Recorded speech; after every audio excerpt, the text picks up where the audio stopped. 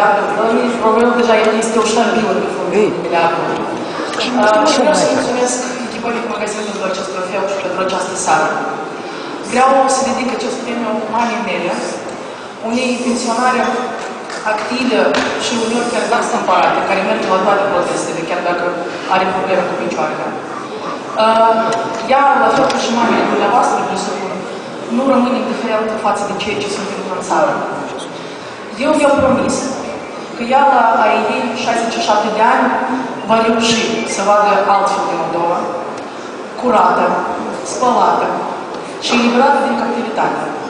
Și haideți în numele mamelor noastre să facem acest lucru împreună. Mulțumesc mult! Bravo, bravo, bravo.